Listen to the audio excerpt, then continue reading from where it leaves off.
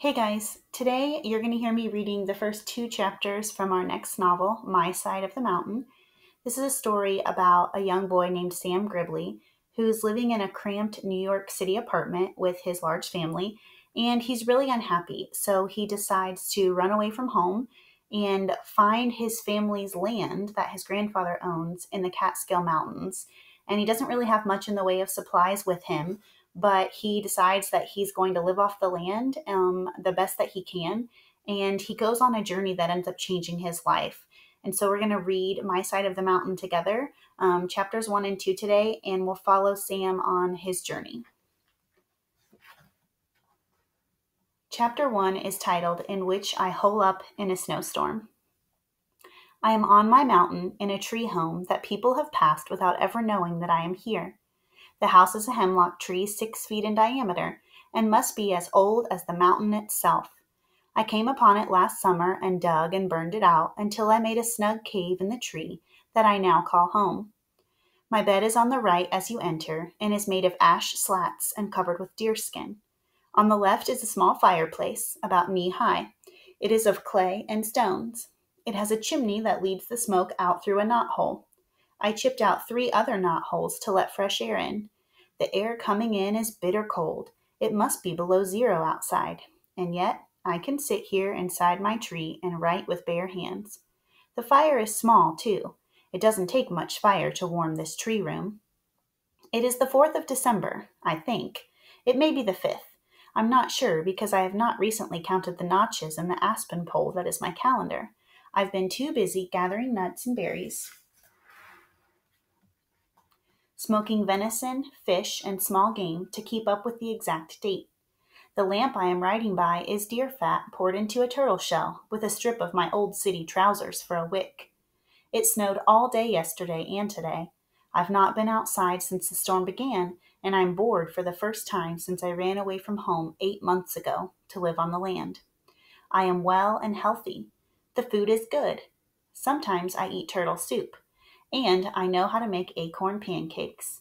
I keep my supplies in the wall of the tree in wooden pockets that I chopped myself. Every time I have looked at those pockets during the last two days, I have felt like a squirrel, which reminds me, I didn't see a squirrel one whole day before that storm began. I guess they're holed up and eating their stored nuts too. I wonder if the Baron, that's the wild weasel who lives behind the big boulder to the north of my tree, is also denned up.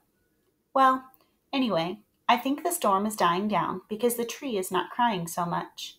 When the wind really blows, the whole tree moans right down to the roots, which is where I am. Tomorrow, I hope the Baron and I can tunnel out into the sunlight. I wonder if I should dig the snow, but that would mean I would have to put it somewhere, and the only place to put it is in my nice, snug tree. Maybe I can pack it with my hands as I go. I've always dug into the snow from the top, never up from under. The Baron must dig up from under the snow. I wonder where he puts what he digs. Well, I guess I'll know in the morning. When I wrote that last winter, I was scared and thought maybe I'd never get out of my tree. I had been scared for two days, ever since the first blizzard hit the Catskill Mountains. When I came up to the sunlight, which I did by simply poking my head into the soft snow and standing up, I laughed at my dark fears. Everything was white, clean, shining, and beautiful. The sky was blue, blue, blue. The hemlock grove was laced with snow. The meadow was smooth and white, and the gorge was sparkling with ice. It was so beautiful and peaceful that I laughed out loud. I guess I laughed because my first snowstorm was over, and it had not been so terrible after all. Then I shouted, I did it! My voice never got very far. It was hushed by the tons of snow. I looked for signs from the Baron Weasel. His footsteps were all over the boulder, also slides where he had played. He must have been up for hours, enjoying the new snow. Inspired by his fun, I poked my head into my tree and whistled. Frightful, my trained falcon, flew to my fist, and we jumped and slid down the mountains, making big holes and trenches as we went. It was good to be whistling and carefree again, because I was sure scared by the coming of that storm. I had been working since May, learning how to make a fire with flint and steel, finding what plants I could eat, how to trap animals and catch fish, All this so that when the curtain of blizzard struck the Catskills, I could crawl inside my tree and be comfortably warm and have plenty to eat. During the summer and fall, I had thought about the coming of winter. However, on that third day of December, when the sky blackened, the temperature dropped, and the first snowflakes swirled around me, I must admit that I wanted to run back to New York. Even the first night that I spent out in the woods, when I couldn't get the fire started, was not as frightening as the snowstorm that gathered behind the gorge and mushroomed up over my mountain. I was smoking three trout. It was nine o'clock in the morning. I was busy keeping the flames low so they would not leap up and burn the fish. As I worked, it occurred to me that it was awfully dark for that hour of the morning. Frightful was leashed to her tree stub. She seemed restless and pulled at her tethers. Then I realized that the forest was dead quiet. Even the woodpeckers that had been tapping around me all morning were silent.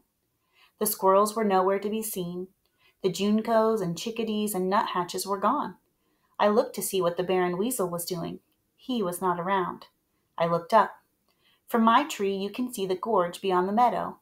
White water pours between the black, wet boulders and cascades into the valley below. The water that day was as dark as the rocks. Only the sound told me it was still falling. Above the darkness stood another darkness, the clouds of winter, black and fearsome. They looked as wild as the winds that were bringing them. I grew sick with fright. I knew I had enough food. I knew everything was going to be perfectly all right. But knowing that didn't help. I was scared. I stamped out the fire and pocketed the fish.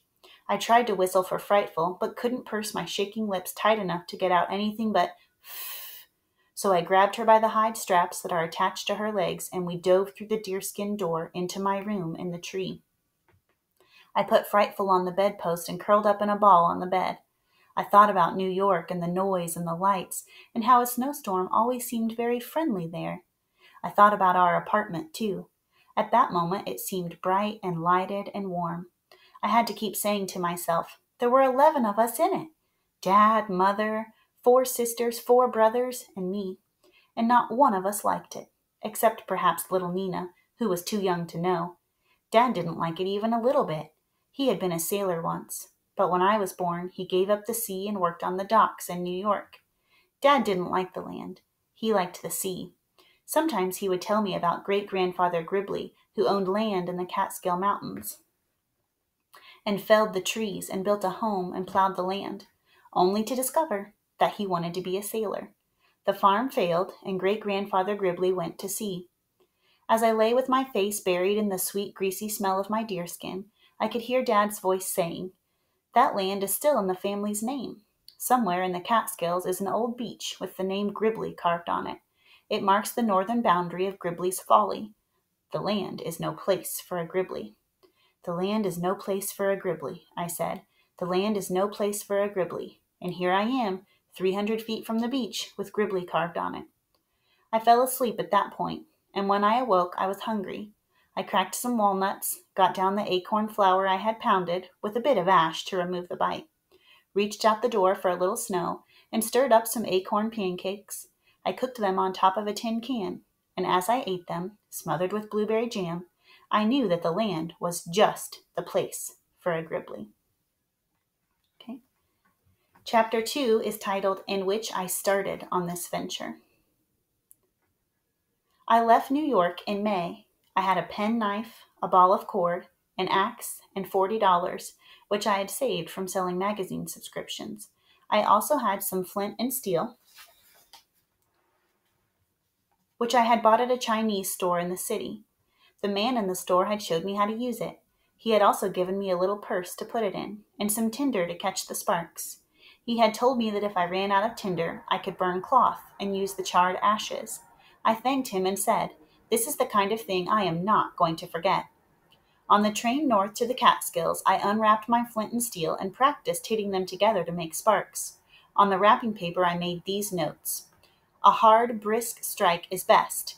Remember to hold the steel in the left hand and the flint in the right, and hit the steel with the flint. The trouble is, the sparks go every which way. And that was the trouble. I did not get a fire going that night, and as I mentioned, this was a scary experience. I hitched rides into the Catskill Mountains.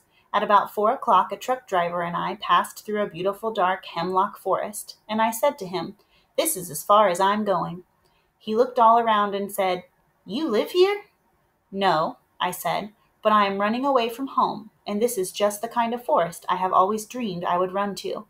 I think I'll camp here tonight. I hopped out of the cab. Hey, boy, the driver shouted. Are you serious? Sure, I said. Well, now, ain't that something? You know, when I was your age, I did the same thing. Only thing was, I was a farm boy and ran to the city, and you're a city boy running to the woods. I was scared of the city. Do you think you'll be scared of the woods? Heck no! I shouted loudly. As I marched into the cool, shadowy woods, I heard the driver call to me, I'll be back in the morning if you want to ride home. He laughed. Everybody laughed at me, even Dad. I told Dad I was going to run away to great grandfather Gribley's land. He had roared with laughter and told me about the time he had run away from home. He got on a boat headed for Singapore, but when the whistle blew for departure, he was down the gangplank and home in bed before anyone knew he was gone. Then he told me, Sure, go try it. Every boy should try it. I must have walked a mile into the woods until I found a stream. It was a clear, athletic stream that rushed and ran and jumped and splashed.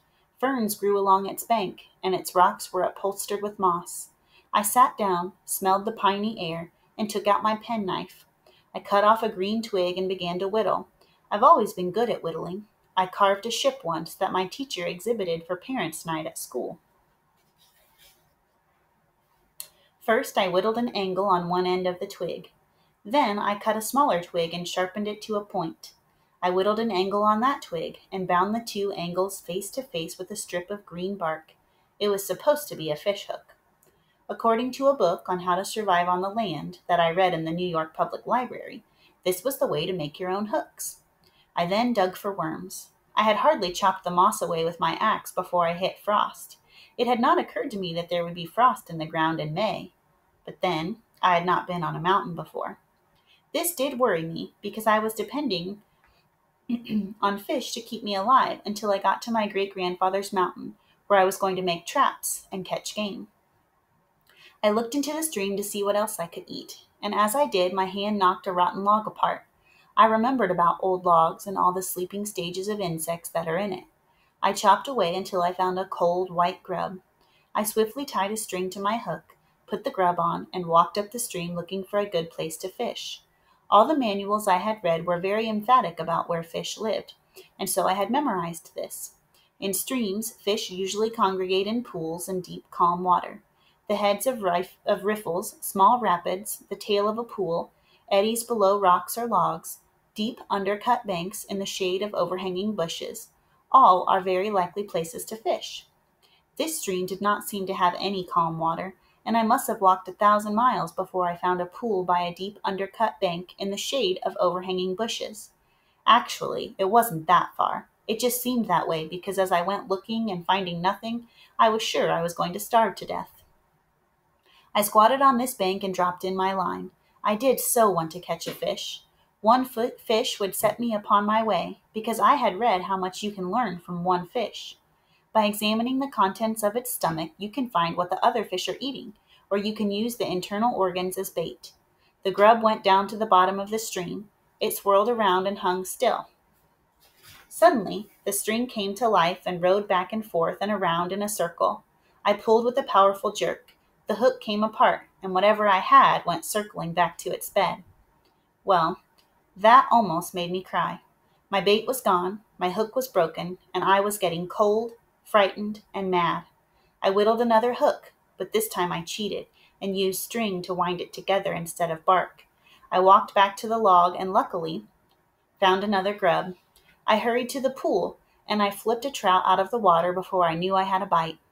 The fish flopped and I threw my whole body over it. I could not bear to think of it flopping itself back into the stream. I cleaned it like I had seen the man at the fish market do, examined its stomach, and found it empty. This horrified me.